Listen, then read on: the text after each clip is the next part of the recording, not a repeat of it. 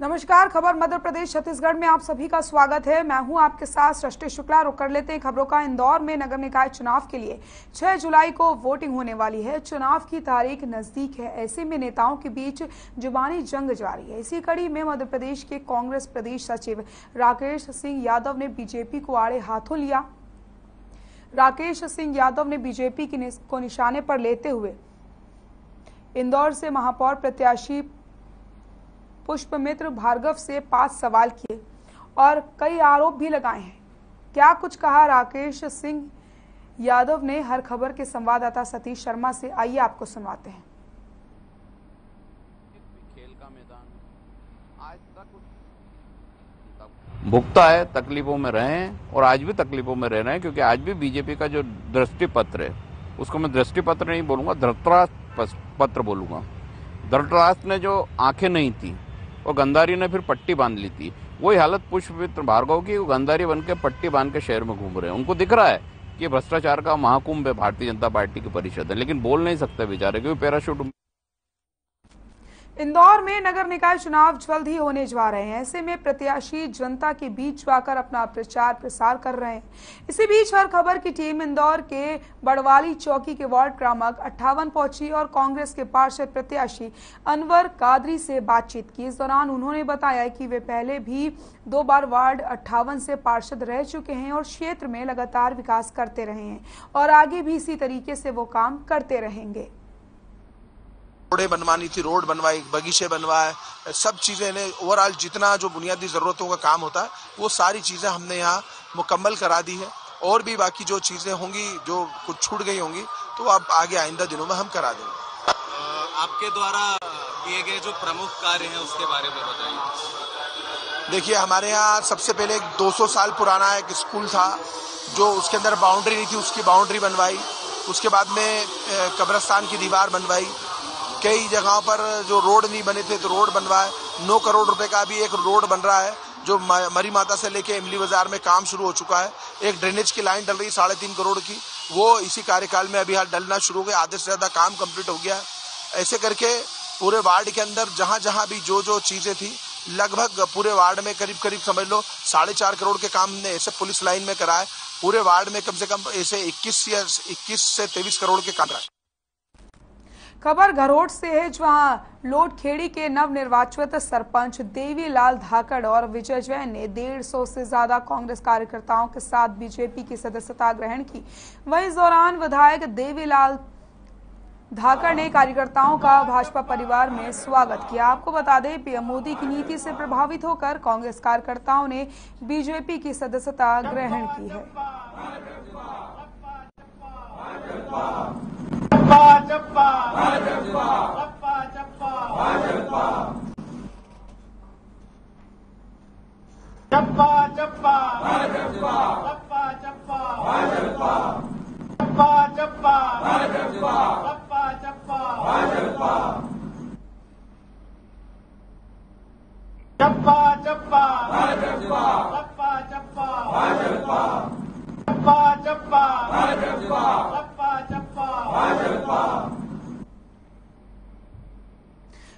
मुंगेली से है, जहाँ बेरोजगारों को रोज़गार देने के लिए प्रदेश सरकार हर संभव प्रयास कर रही है।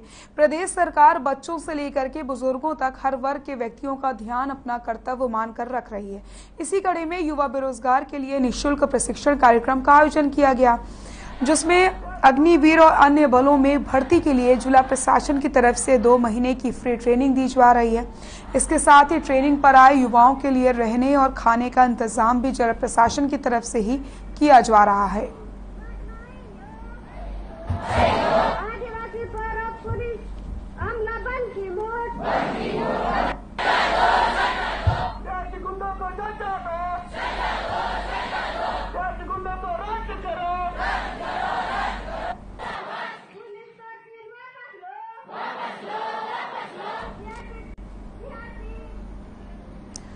दो महीने की फ्री ट्रेनिंग दी जा रही है। मुंगेली से खबर आपको बता रहे हैं जहाँ पर।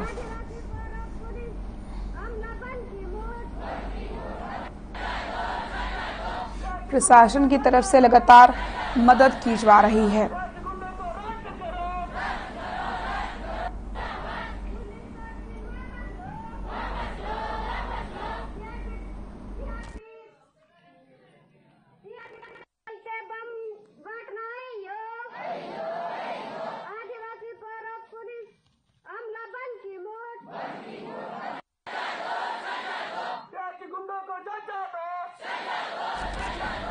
तो प्रशासन की तरफ़ से लगातार मदद की जा रही है। सेना भर्ती की तैयारी कर रहे हैं युवा।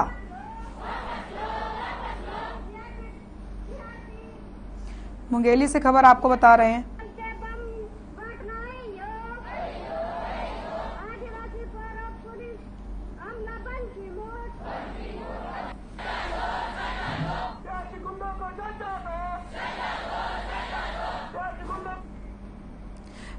छत्तीसगढ़ के धमंतरी में वन्य क्षेत्रों में इन दिनों जोरों से बारिश हो रही है। बारिश की वजह से नदी नालों में बाढ़ जैसे हालात बन गए हैं।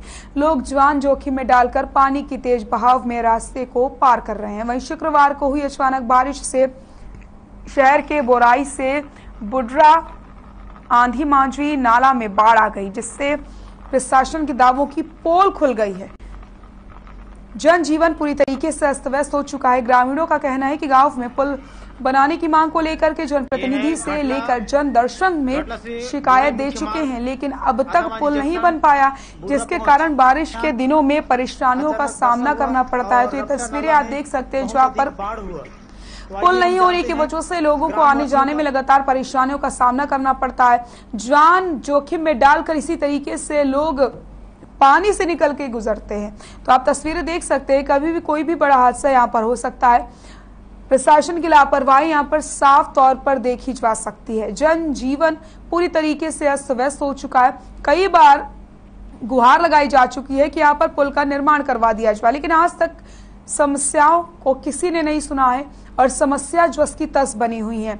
तो थोड़ी सी ही बारिश में यहाँ पर बाढ़ जैसी स्थिति पैदा हो जाती है और इस बाढ़ जैसी स्थिति से निपटने के लिए ग्रामीणों की सुनने वाला कोई नहीं है। उन्हें लगातार पानी से होकर ही गुजरना पड़ता है। और जान हथेली पर लेकर के वो इस पानी से गुजरते हैं। तस्वीरें भी आपको हम दिखा रहे हैं, जो आप पर देखिए, आप नदी की तरीके से पानी ये बह रहा है और इसी पानी से होकर के रोज लोग यहाँ से गुजरते हैं, अपना काम करने के लिए जाते हैं। तो इन परेशानियों को कब दूर किया जाएगा? आखिरकार कब यहाँ पर पुल बनाया जाएगा? इसका जवाब किसी के पास नहीं है, लेकिन कई बार प्रशासन से गुहार लगाई जा चुकी है। वन क्षेत्रों का हाल इसी तरीके से हर बारिश में होता है। बारिश की वजह से नदी नालों में बाढ़ जैसे हालात हो जाते हैं। लोग जान जोखिम में डाल करके पानी के तेज बहाव में रास्ते को पार करते हैं। तो आप देखिए किस तरीके से लोग रास्ते को पार करते हुए नज़र आ रहे हैं आपको। और कभी भी किसी की भी जान जा सकती है। इस पानी में वो बह सकते हैं। छोटे छोटे बच्चों की जान को यहाँ पर खतरा लगातार सताया रहता है। लेकिन उसके बाद भी सुनने वाला इनकी कोई नहीं है। प्रशासन से कई बार गुहारें लगाई जा चुकी है लेकिन आज तक जो समस्या है वो जस की तस बनी हुई है। किसी ने भी संज्ञान लेने की कोशिश नहीं की है। जंक्शन बुडरा पहुँच।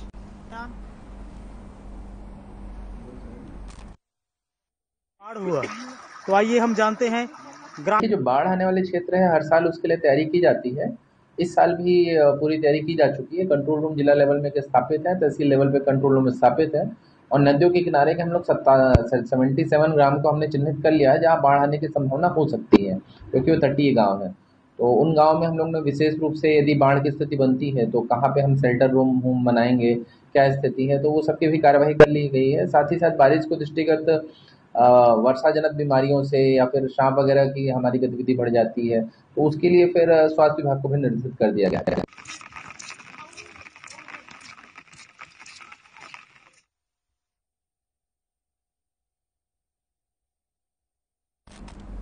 राजनांदगांव के डोंगरगढ़ विधानसभा से विधायक रहे रामजी भारती ने प्रेस कॉन्फ्रेंस की। इस दौरान उन्होंने अपनी पत्नी की ओर से लगाए गए सभी आरोपों को बेबुनियाद बताया और अपनी पत्नी पर उनकी राजनीतिक और सामाजिक छवि को धूमिल करने का आरोप लगाया। उन्होंने कहा कि उनकी पत्नी संगीता भारती, उनके दोनों बच्चों और उनकी 90 साल की बुज़ुर्ग माँ के साथ दुर्व्यवहार करती है। आपको बता दें, पूर्व विधायक रामजी भारती ने कोर्ट में तलाक के लिए अर्जी दी है। वहीं उनके दोनों बेटे ने अपने पिता के साथ रहने का फैसला लिया है। डोंगरगढ़ विधानसभा से विधायक रहे रामजी भारती ने प्रेस कॉन्फ्रेंस करी और अपनी पत्नी पर उन्होंने गंभीर आरोप लगाए हैं। पत्नी पर छवि को बिगाड़ने का आरोप भी लगाया गया। इसी के साथ आपको बता दें राम जी के दोनों बेटे उन्हीं के साथ रहने का फैसला यहाँ पर ले रहे हैं और उन्होंने तलाक की अर्जी भी लगा रखी है। तो पत्नी पर गंभीर आरोप लगाए हैं, छवि बिगाड़ने के आरोप यहाँ पर लगाए गए हैं। कोर्ट में दे रखी है तलाक की अर्जी और प्रेस कॉन्फ्रेंस करते हुए उन्होंने ये जानकारी सभी को दी है। पूर्व एमएलए रामजी भारती ने प्रेस कॉन्फ्रेंस करी, पत्नी पर छवि बिगाड़ने के यहाँ पर आरोप लगाए गए। पत्नी से परेशान है पूर्व विधायक। कोर्ट में तलाक की अर्जी भी उन्होंने दे रखी है। तो पत्नी से परेशान पूर्व विधायक ने पत्नी पर छवि बिगाड़ने के आरोप लगाए हैं।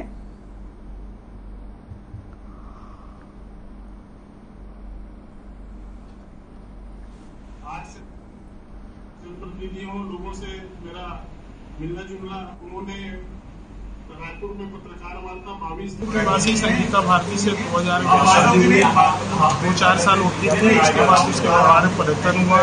आए दिन मारना पीटना गाली गलौज करना परिवार के लोगों के साथ व्यवहार अच्छा नहीं रखना यहाँ तक कि मेरी माँ नब्बे साल की है उसके साथ उन्होंने मारपीट की का आरोप लगाए घर से निकाल दिया। बच्चों को लोग प्रताड़ित करना जो हाथ में आ रहा उसी से फेंक के मार देना। ये सब सारे चीज़ को आ, हम झेलते रहे चूँकि राजनीतिक और व्यक्ति रहे लगातार पोस्ट में रहे। शुरू में हम लोग घर में सब आए।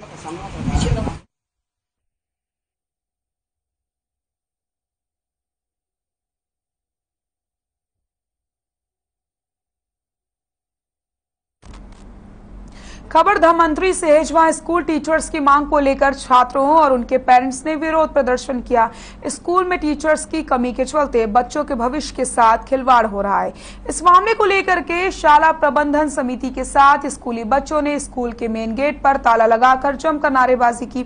वहीं शासकीय माध्यमिक स्कूल के प्रबंधन समिति के अध्यक्ष बलदेव राम ने कहा कि कई बार शिकायत के बाद भी यहाँ पर शिक्षकों की कमी को पूरा नहीं किया गया है। तो आपको बताते चले बच्चों की पढ़ाई ऐसे में बाधित हो रही है।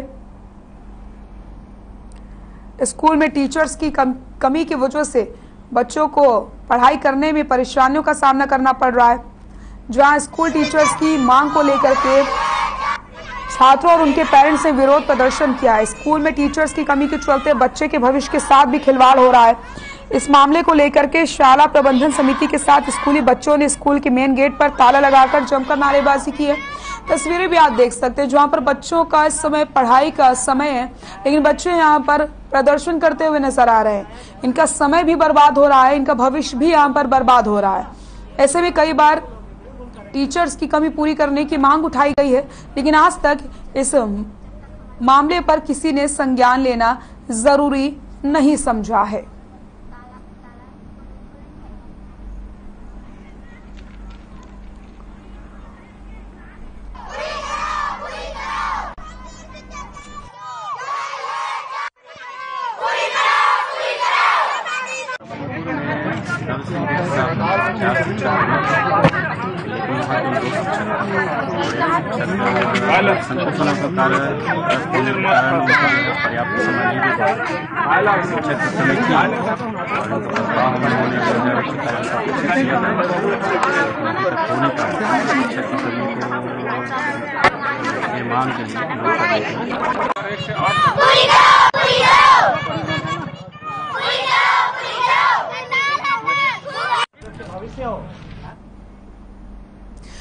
राजस्थान के उदयपुर में हुए हत्याकांड का विरोध जहाँ पूरे देश भर में किया जा रहा है। वहीं छत्तीसगढ़ में भी विश्व हिंदू परिषद और बजरंग दल ने इस पर नाराज़गी ज़ाहिर की है। उदयपुर में हुए हत्याकांड के विरोध में विश्व हिंदू परिषद और बजरंग दल ने छत्तीसगढ़ में बंद का ऐलान कर दिया, जिसका असर जिला मरवाही के शहरों में भी साफ़ देखने को मिल रहा है। आपको बता दें, बंद के चलते मरवाही में सुबह से ही बाज़ार बंद हैं और सड़कें खाली रहीं। केवल आपातकालीन दवा की दुकानें और डेयरी समेत आवश्यक सेवाएँ खुली रहीं।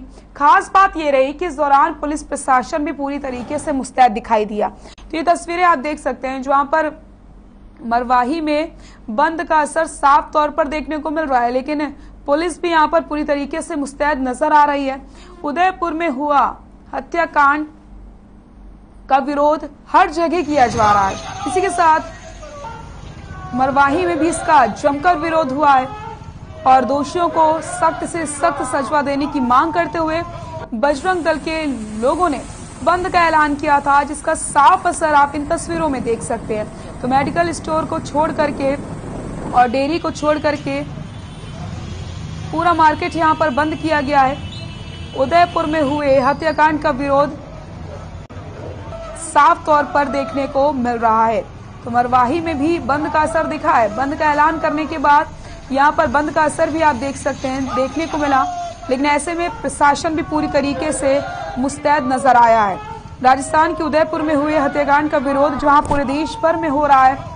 वहीं छत्तीसगढ़ में भी विश्व हिंदू परिषद और बजरंग दल ने इस पर नाराज़गी ज़ाहिर की है। तो अब ये जो विरोध की आग है, वो छत्तीसगढ़ तक पहुँच चुकी है। जहाँ पर बंद का साफ़ तौर पर असर आप इन तस्वीरों में देख सकते हैं। कुछ ज़रूरी सेवाओं को छोड़ करके पूरे बाज़ार को बंद कर दिया गया। बजरंग दल के लोगों ने और विश्व हिंदू परिषद की तरफ़ से नाराज़गी ज़ाहिर करते हुए बंद का ऐलान किया गया था, जिसका खासा असर देखने को मिल रहा है, लेकिन प्रशासन भी यहाँ पर पूरी तरीके से मुस्तैद नज़र आया है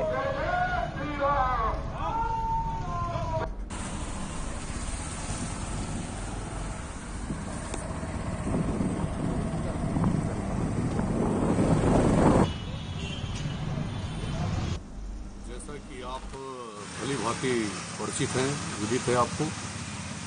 ये जो पूरे भारत देश में जिस हिसाब से आतंकियों का जो खेल चल रहा है, क्या ट्रेन जलाना पत्थरबाजी करना, और जैसा कि अभी ताज़ा जो है कन्हैया लाल के साथ, उसका सात बार वार करके उसका गला काटना और टोटल उसके शरीर में पूरे 26 वार थे, इससे ही अंदाज लगा सकते हैं कि गौस मोहम्मद और रियाज, मोहम्मद रियाज, निश्चित ही इनके द्वारा जो है एक बहुत बड़ा सरगना है, बहुत ही बड़ा आतंकवादी संगठन है, और पूरा भारत देश जो है उद्वेलित है। अगर भारत देश में इस टाइप के लोग अगर अभी रहेंगे, और तो पता नहीं क्या स्थिति बनेगी। और ऐसे लोगों को भारत देश में रहने का कोई अधिकार ही नहीं है। चेंबर ऑफ़ कॉमर्स की घोषणा के बाद व्यापार संघ मरवाही के सभी सदस्यों ने भी बंद का आह्वान किया और इसे सफल बनाने में अपनी महत्वपूर्ण भूमिका निभाई। और हम प्रशासन से मांग करेंगे कि उदयपुर में हुई घटना उदयपुर में हुई घटना में जो भी दोषी हैं, उन्हें रायगढ़ में पुलिस की स्पेशल टीम को बड़ी सफलता हाथ लगी। पुलिस ने लोन दिलाने के नाम पर ठगी करने वाले दो आरोपियों को गिरफ़्तार किया। पुलिस ने इनकी गिरफ्तारी उत्तर प्रदेश की गाजियाबाद से की। बताया जा रहा है कि पकड़े गए आरोपी में से मुख्य आरोपी अमितेश ने बीटेक की पढ़ाई की है, जो कि लेबर किस्म के लोगों के नाम से जारी सिम का यूज़ करके ठगी करता था। आरोप है कि 2019 में उसने एक शिक्षक से 29 लाख रुपए ठग लिए थे। पीड़ित शिक्षक की शिकायत के आधार पर कार्रवाई करते हुए पुलिस ने ये कामयाबी हासिल की है। तो रायगढ़ से आपको खबर बता रहे हैं जो यहाँ पर पुलिस की गिरफ्त में ठग आ चुका है। लोन दिलाने के नाम पर यहाँ पर ठगी करता था। दो ठगों को पुलिस ने गिरफ़्तार किया है। गाजियाबाद से ये गिरफ्तारी की गई है। तो रायगढ़ पुलिस की स्पेशल टीम को बड़ी सफलता हाथ लगी। पुलिस ने लोन दिलाने के नाम पर ठगी करने वाले दो आरोपियों को गिरफ़्तार किया। पुलिस ने इनकी गिरफ्तारी उत्तर प्रदेश के गाजियाबाद से की है। बताया जा रहा है कि पकड़े गए आरोपी में से मुख्य आरोपी अमितेश ने बीटेक की पढ़ाई भी की है, जो कि लेबर किस्म के लोगों के नाम से जारी सिम का यूज़ करके ठगी करता था। आरोपी की 2019 में उसने एक शिक्षक से उनतीस लाख रुपए ठग लिए थे। पीड़ित शिक्षक की शिकायत के आधार पर कार्रवाई करते हुए पुलिस ने भी कामयाबी हासिल की है।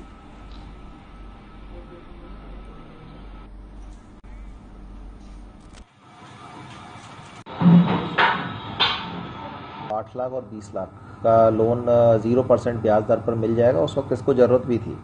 और अपनी एक टीम जिसमें खरसिया चौकी प्रभारी, गौतम कापू प्रभारी पैंकरा और उनके साथ में साइबर के कुछ लोग गाजियाबाद भेजे गए, जिसमें उन्होंने काफ़ी मेहनत करके उसका पता लगाया, वहाँ की लोकल पुलिस से सहयोग भी लिया और वहाँ पे फिर दो लोगों को अरेस्ट किया, जिनमें से एक मुख्य आरोपी है, जिसने बीटेक किया हुआ है, पढ़ा डोंगरगढ़ पुलिस को बड़ी कामयाबी हाथ लगी। पुलिस ने लूट की घटना को अंजाम देने वाले चार आरोपियों को गिरफ़्तार किया। बताया जा रहा है कि सरपुर के रहने वाले दो राहगीरों से बदमाशों ने चाकू की नोक पर लूट की वारदात को अंजाम दिया था। इतना ही नहीं, पैसे नहीं देने पर बदमाशों ने पीड़ित को पूरी तरीके से चाकू से घायल कर दिया था। घटना की जानकारी मिलते ही मौके पर पहुँची पुलिस ने घायलों को अस्पताल में भर्ती कराया। वहीं अब पुलिस ने मामले की जाँच शुरू करते हुए चार आरोपियों को गिरफ़्तार किया और उनके पास से पुलिस ने बारह सौ रुपए और बाइक भी जब्त की है। डोंगरगढ़ पुलिस को बड़ी सफलता हाथ लगी। पुलिस ने लूट की। वारदात को अंजाम देने वाले चार आरोपियों को गिरफ़्तार कर लिया है। आपको बताते चले, बताया जा रहा है कि सिरपुर के रहने वाले दो राहगीरों में से बदमाशों ने चाकू की नोक पर लूट की वारदात को अंजाम दिया था। इतना ही नहीं, पैसे नहीं देने पर बदमाशों ने पीड़ित को बुरी तरीके से चाकू से घायल भी कर दिया था। तो यहाँ पर बड़ी कामयाबी हाथ लगी है। पुलिस ने आरोपियों को गिरफ़्तार कर लिया है।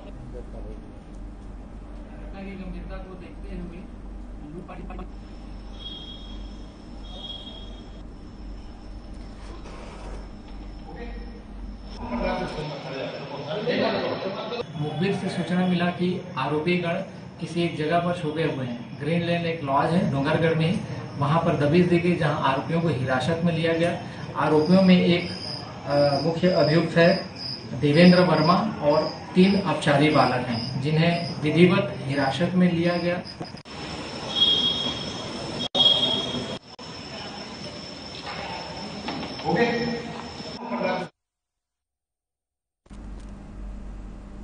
छत्तीसगढ़ में सिलगेर आदिवासी ग्रामीणों के आंदोलन को लेकर बीजेपी के प्रदेश प्रवक्ता और पूर्व मंत्री केदार कश्यप ने बड़ा बयान दिया। केदार कश्यप ने प्रदेश सरकार को नसीहत देते हुए कहा कि आंदोलन कर रहे आदिवासी ग्रामीणों से सीधा संवाद करके उनकी समस्या का सरकार को समाधान करना चाहिए। न कि पुलिस के बल बूते पर आदिवासियों की आवाज़ को दबाना चाहिए। बताया जा रहा है कि छत्तीसगढ़ के इतिहास में बस्तर का ये सिलगेर आंदोलन सबसे बड़ा आंदोलन है। इस आंदोलन में बीजापुर और सुकमा ज़िले के सरहद पर हज़ारों की संख्या में आदिवासी ग्रामीण आंदोलन कर रहे हैं। तो बीजेपी प्रवक्ता की सरकार को नसीहत, सिलगेर आंदोलन पर बीजेपी का बयान। सरकार दे इस पर ध्यान। ग्रामीणों की समस्याओं का जल्द से जल्द समाधान किया जाए, क्योंकि यह आंदोलन सबसे बड़ा आंदोलन बन चुका है। सिलगेर आंदोलन पर बीजेपी का बयान सामने आए हैं। ग्रामीणों की समस्या का जल्द से जल्द समाधान किया जाए, न कि पुलिस बल का इस्तेमाल करके आदिवासियों की आवाज़ को दबाया जाए। तो ये नसीहत यहाँ पर दी गई है। पे भी हम लोगों ने धरना दिया था, कोंटा में मैं स्वयं गया था और जाकर के वहाँ सिलगिर आंदोलन को लेकर के वहाँ पर सरकार को चाहिए कि वहाँ पर जाकर के उनसे चर्चा करे और जिस तरीके से वो क्रमबद्ध तरीके से उनका आंदोलन चल रहा है और जिस तरीके से वहाँ पर चार लोगों की मृत्यु हुई, तीन की पहले हुई थी और एक की बाद में मृत्यु हुई। तो कहीं ना कहीं से यदि उन क्षेत्रों में यदि सुरक्षा और उस स्थिति को बहाल करना है तो सरकार को पहल करनी चाहिए और समय समय पर भारतीय जनता पार्टी ने इस विषय को वहाँ पर रखा भी। हम लोगों ने एक संभाग स्तर का यहाँ छत्तीसगढ़ के दंतेवाड़ा ज़िले की रहने वाली एक्स रोडीज निहारिका तिवारी को गला काटने की धमकी मिली। दरअसल, उन्होंने इंस्टाग्राम पर उदयपुर की घटना की निंदा की थी, जिसके बाद मशहूर रियलिटी टीवी शो रोडीज की एक्स कंस्टेंटेंट निहारिका तिवारी को लगातार धमकियाँ मिल रही हैं। धमकी मिलने के बाद एक्स रोडीज निहारिका ने एक वीडियो पोस्ट करते हुए कहा कि उन्होंने अपनी बात रखी है। उन्होंने कुछ गलत नहीं कहा। उन्होंने नुपुर शर्मा का पक्ष नहीं लिया। सिर्फ़ उदयपुर में जिस तरीके की हत्या हुई है, उसका उन्होंने विरोध किया है। तो आपको बता दें एक्स कंटेस्टेंट निहारिका को जान से मारने की धमकी दी गई है और उसके बाद उन्होंने एक वीडियो भी शेयर किया और उन्होंने साफ़ तौर पर यह कहा कि उन्होंने नुपुर शर्मा का समर्थन नहीं किया है।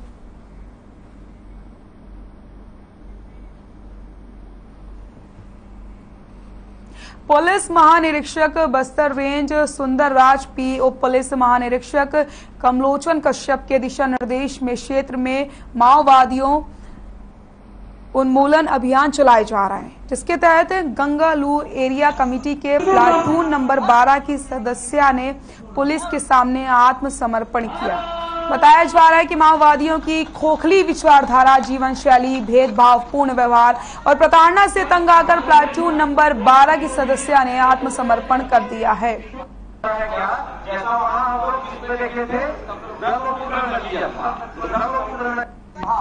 ठीक है जिससे नहीं बना उसको बता रहा हूँ। सेकेंड क्वेश्चन क्या था? ये जिला प्रशासन की ओर से किया जा रहा है। जिला प्रशासन के द्वारा सैनिक की नहीं, बल्कि पुलिस में वनपाल में, अन्य जो भी विभाग का यदि निकलता है, छत्तीसगढ़ या भारत के विज्ञापन तो इसमें इन बच्चों को उस योग्य बनाया जा रहा है, जिसमें ये अपना सहभागी बने और अपने भविष्य को उज्जवल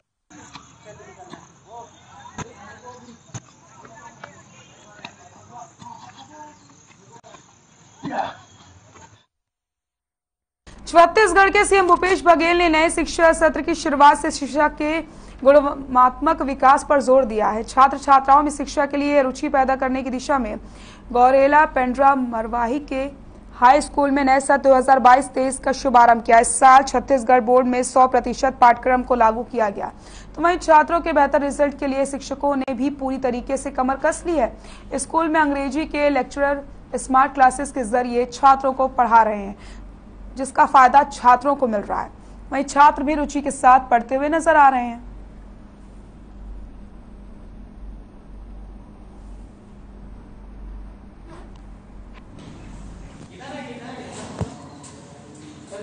यहाँ मई महीने से शासन की ओर से प्रोजेक्टर लैपटॉप प्रोवाइड किया गया है।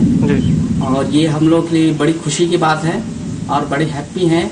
रीजन ये है कि हमारी जो कंटेंट होते हैं हमारे जो सिलेबस होते हैं उसे हमारे पाठ्यक्रम तक सीमित होता है हमारे बुक तक के रहते हैं। लेकिन हम एक्स्ट्रा नॉलेज के लिए हम लोग की बड़ी दिक्कत होती है। तो लैपटॉप आने से प्रोजेक्टर आने से आ, हम जो नए नए एनिमेटेड वीडियो बना रहे हैं पावर पॉइंट यूज़ कर रहे हैं और ऑडियो वीडियो का यूज़ खबर मध्य प्रदेश, छत्तीसगढ़ में फ़िलहाल के लिए इतना ही। देखते रहिए हर खबर। नमस्कार।